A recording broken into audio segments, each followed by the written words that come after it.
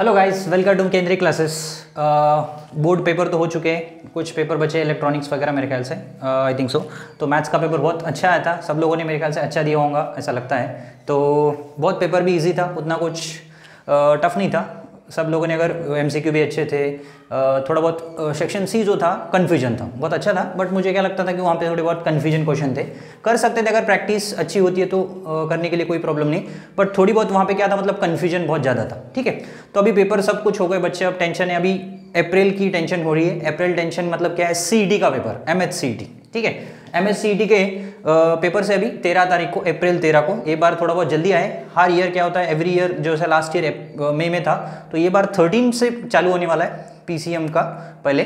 तो यहाँ पे अपन देखते हैं कि भाई मैथ्स में क्या है सिलेबस क्या है एग्ज़ाम डेट कब है, और कैसे पढ़ना है, कैसी तैयारी करनी है, और उसके बाद बात ऐसी कि इलेवेंथ में कितना टॉपिक कवर करना है, अपने पास अभी टाइम बहुत कम है, क्योंकि उसी लिए बहुत फास्ट रिविज़न करना है अपन को। और इसका सिलेबस क्या है, और कैसे कैसे प्रिपरेशन करनी है, वो आपको मैं मेरी तरफ़ से ये कर दूँगा, ठीक है? तो यहाँ पे सबसे पहले देखो, सबसे पहले एम एच सी टी ठीक है? तो मैथ्स सिलेबस है यहाँ पे सबसे पहले एग्ज़ाम डेट है थर्टीन अप्रैल को, ठीक है? फ़र्स्ट बैच मतलब थर्टीन अप्रैल को पीसीएम का पेपर है। तो यहाँ पे देखते हैं बेटा मैथ्स का एक्चुअली सिलेबस तो होता है। तो सबसे पहले देखो इसका पैटर्न क्या होता है? एक्चुअली पैटर्न होता है टोटल हंड्रेड मार्क्स होते हैं मैथ्स के तो उसमें से ट्वेंटी मार्क्स जो है मतलब कि जैसे total fifty question fifty question रहते फिफ्टी में से टेन क्वेश्चन इलेवंथ ग्रेड के रहते और फोर्टी क्वेश्चन जो है ट्वेल्थ ग्रेड के रहते तो 40 क्वेश्चन जो है each question carry on two marks रहेंगे। तो इसमें कोई नेगेटिव मार्किंग नहीं रहती है। तो बस अपन को ध्यान देना है कि सिलेबस मैथ्स सबसे ज़्यादा इंपॉर्टेंट है इसमें, क्योंकि फिजिक्स केमिस्ट्री फिफ्टी मार्क्स रहेगा फिफ्टी फिफ्टी तो उसमें एक ईच क्वेश्चन अगर आप करते हो तो वहाँ पर एक मार्क मिलेगा बट यहाँ पे एक क्वेश्चन अगर करते हो तो दो मार्क मिलेंगे। तो इसलिए बेस्ट है कि अपन को मैथ्स अच्छे से प्रैक्टिस करनी है, मेरे ख्याल से अपना अगर बोर्ड अच्छा जाता है तो मेरे ख्याल से लगता है कि सी बहुत अच्छा जाएगा।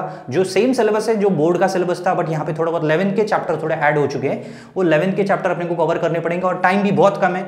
उसीलिए अपनी ईयरली क्वेश्चंस वगैरह वगैरह सब कुछ चाल करना है और मैं भी, मेरे भी क्लासेस यहाँ पे स्टार्ट करूँगा सी के, मेरे ख्याल से नेक्स्ट टू डेज़ में चालू हो जाएँगे। आपको डेट भी कंफर्म कर दूँगा। तो सी के क्लासेस रेगुलरली हो जाएँगे क्लासेस रेगुलर लग रहे एक एक चैप्टर रिविजन फास्ट होना चाहिए। और बच्चे भी अभी टेंशन में कि कैसे पढ़े, क्या नहीं। तो उसके लिए मुझे लगता है कि मैथ्स का बहुत ईजी है और आपने अगर बोर्ड अच्छे से किया होगा तो आपको मैथ्स का ज़्यादा टेंशन नहीं, बस रिविजन करना रहता और ईयरली क्वेश्चन पेपर थोड़े अच्छे से सॉल्व किए तो आपको ईजी हो जाएगा, कोई टेंशन नहीं। तो सबसे मेन बात चलती है अपना अप्रैल थर्टी को पेपर है, ठीक है? तो यहाँ पे पैटर्न क्या पता है आपको पैटर्न तो ऑलरेडी पता है। तो फोर्टी क्वेश्चन रहेंगे ट्वेल्थ के और twenty twenty sorry ten question रहेंगे अपने को uh, इसके इलेवेंथ uh, के। तो इलेवेंथ के each question carry on two marks तो टोटल कितने टेन मार्क्स हो जाएँगे? और यहाँ पे टोटल फोर्टी क्वेश्चन रहेंगे each question carry on two marks मतलब टोटल एटी मार्क्स हो जाएँगे। तो ट्वेल्थ का बहुत इंपॉर्टेंट है।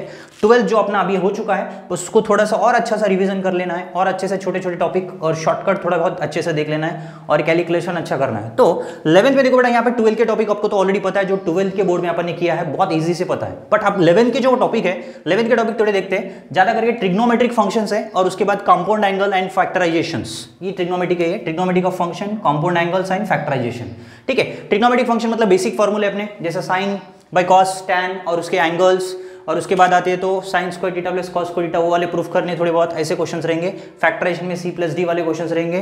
ठीक है? और स्ट्रेट लाइन स्ट्रेट लाइन में आपको distance between two points okay और उसके बाद आपको स्लोप आएगा एरिया ऑफ़ ट्राइंगल और इंटरनली एक्सटर्नली ये सब कुछ स्टेट लाइन में आ जाएगा। परपेंडिकुलर पैरेलल ये बहुत ईजी है। तो यहाँ पे सर्कल और कोनिक सेक्शन ठीक है? तो मेरे ख्याल से लगता है ये थोड़े चैप्टर आपको ये चैप्टर पे ज़्यादा फोकस करनी चाहिए, क्योंकि ये चैप्टर में, हर चैप्टर में से आपको अच्छे से क्वेश्चन निकलेंगे मेरे ख्याल से। सर्कल कोनिक सेक्शन और रिलेशन एंड फ़ंक्शन ये भी चैप्टर ईजी उतना कुछ टफ नहीं है। और उसके बाद प्रोबेबिलिटी है और sequence and series sequence and series में एपी जीपी एचपी ये इंपॉर्टेंट है, ठीक है? इलेवंथ के मेरे ख्याल से इतनी टॉपिक है, ज़्यादा नहीं है। सबसे पहले स्टेट लाइन उसके बाद circle conic section relation and function probability एक है और sequence and series and factorization trigonometry का फॉर्मेशन से। ठीक है? तो इलेवन का ज़्यादा सिलेबस नहीं इलेवन का बहुत कम सिलेबस है और चैप्टर भी थोड़े कम है बहुत कम चैप्टर है। तो straight line circle conic section parabola hyperbola ellipse इसमें आ जाएगा सर्कल भी इजी हो जाएगा। ठीक है? ट्वेल्थ का तो ऑलरेडी आपको पता है portion mathematical logic matrices, inverse trigonometric function pair of straight line vector three D line plane linear programming continuity differentiation application of derivatives integration definite integration application of integration differential equation उसके बाद probability and distribution of a है, उसके बाद Bernoulli ट्रायलर है, उसके बाद binomial distribution है binomial distribution तो मेरे ख्याल से लगता है कि आप थर्टीन अप्रैल मतलब अपने को बहुत कम टाइम है उसलिए सबसे पहले अपन को ट्वेल्थ एक बार रिवाइज करना है, उसके साथ साथ इलेवन के टॉपिक पर थोड़ा ध्यान देना है। इलेवन के टॉपिक भी अपने पास बहुत ईजी है टिग्नोमेट्री के टॉपिक है, उसे फॉर्मूला बेस्ड क्वेश्चन रहेंगे फॉर्मूले अच्छे से पढ़ना है, ठीक है? और यहाँ पे एक बात है, और मैं भी एक्चुअली चालू कर दूँगा सीईटी का रिवीजन मोस्टली रिवीजन मतलब जैसे कि चैप्टर डेली एक एक चैप्टर कंप्लीट कर दूँगा आपको सिलेबस 45 डेज़ का रेगुलरली आप मुझे फॉलो कर सकते हैं और रेगुलरली मेरी क्लासेस भी देख सकते हैं आप, ठीक है?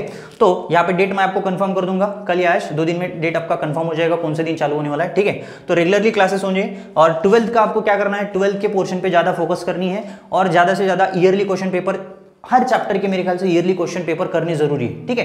टॉपिक आपको थोड़ा बहुत सिलेबस को रिवाइज करना है। सिलेबस के बाद टॉपिक जो है क्या क्या टॉपिक में चैप्टर में क्या क्या है, पूरा देखना है, उसके साथ साथ एमसीक्यू की ज़्यादा प्रैक्टिस होनी अगर आपका बोर्ड का अच्छा प्रिपरेशन कर, करे होते तो आपको यहाँ पे प्रॉब्लम नहीं आएगा उतना, क्योंकि आपने बोर्ड अच्छा किया है तो कोई परेशानी नहीं होती, क्योंकि उसमें से ज़्यादा क्वेश्चन कवर होते हैं। क्योंकि अपना क्योंकि अपन को टॉपिक कवर रहता है। टॉपिक अगर कवर रहने से क्या होता है? क्योंकि अपन को एमसीक्यू थोड़े बहुत ज़्यादा प्रैक्टिस करने पड़ते हैं। मुझे लगता है कि एमसीक्यू बहुत ज़्यादा प्रैक्टिस करनी है, ठीक है?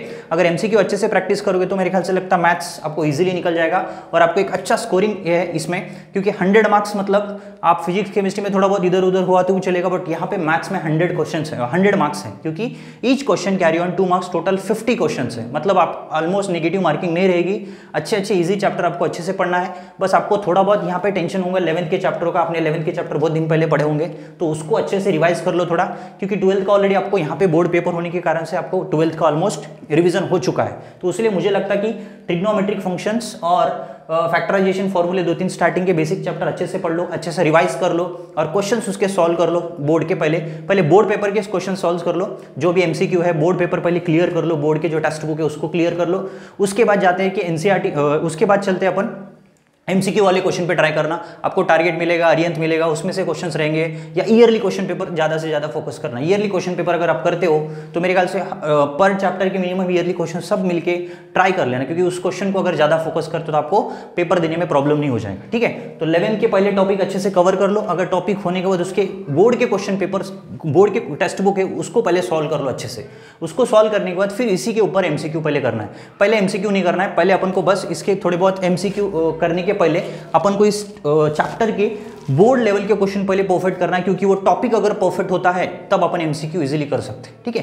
मेरे ख्याल से लगता है कि बहुत टाइम कम है। उसके लिए स्टूडेंट्स थोड़ा बहुत आ, अच्छी मेहनत करो और अच्छा सा ये करो तो आपको अच्छा सा गवर्नमेंट कॉलेज मिल जाएगा और अच्छे अच्छे कॉलेज मिल सकते हैं अगर अपनी अच्छी प्रिपरेशन किया है तो। ठीक है? और मुझे नहीं लगता कि सर एम से अच्छे कॉलेज बहुत अच्छे कॉलेज मिल पाए महाराष्ट्र में बहुत सारे अच्छे अच्छे कॉलेज है टॉप टेन में। ठीक है? जैसे सीओपी ले लो या अमरावती अमरावती गवर्नमेंट कॉलेज ले लो। हर जगह बड़े बड़े कॉलेज है ऐसा टेंशन नहीं लेना। बस आपको जस्ट कुछ भी करके मैथ्स पे अच्छा स्कोर करना है। मैथ्स में स्कोर के लिए मेरा सपोर्ट रहेगा। मैं रेगुलरली आपको सीटी के क्लासेस चालू कर दूँगा, ठीक है? My date I will confirm you ठीक है? बट उसमें सबसे ज़्यादा मेन बात है थर्टीन अप्रैल को याद रखो और जल्दी प्रिपरेशन अपना चालू कर दो। क्योंकि टोटल अपने पास क्या है? टोटल हंड्रेड मार्क्स हैं और फिफ्टी क्वेश्चन है।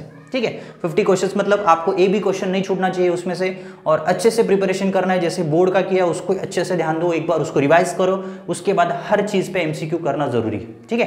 तो टेंशन नहीं लेना है रिविजन फटाफट चालू कर दो अगर आपके पेपर हो चुके हैं ओके जिनका आईटी वगैरह इलेक्ट्रॉनिक कुछ हो, होगा तो पहले कंप्लीट होने के बाद जस्ट अभी जिसका होगा उन लोगों ने जल्दी से और लास्ट डेट कल चुक कल है सात तारीख को सीडी पेपर का लास्ट डेट एप्लीकेशन का। तो कल जिसने नहीं भरा है, जल्दी भर दो, क्योंकि लास्ट लास्ट डेट है कल सात तारीख, और उसके बाद आपको फाइन भरना पड़ेगा। तो सात तारीख के पहले, कल एक दिन है, कल आप जल्दी से जल्दी जिसने नहीं भरा होगा तो भी वो सी का फॉर्म भर दो जल्दी, ठीक है? क्योंकि ये बार बहुत जल्दी है सी और अपने पास टाइम भी बहुत कम है। उसके साथ साथ अप्रैल पाँच को पाँच से अपनी ए ट्रिपल जे डबल के भी पेपर से तो उसीलिए आपको दोनों का प्रिपरेशन मिलता है तो कि अप्रैल पाँच बोले तो।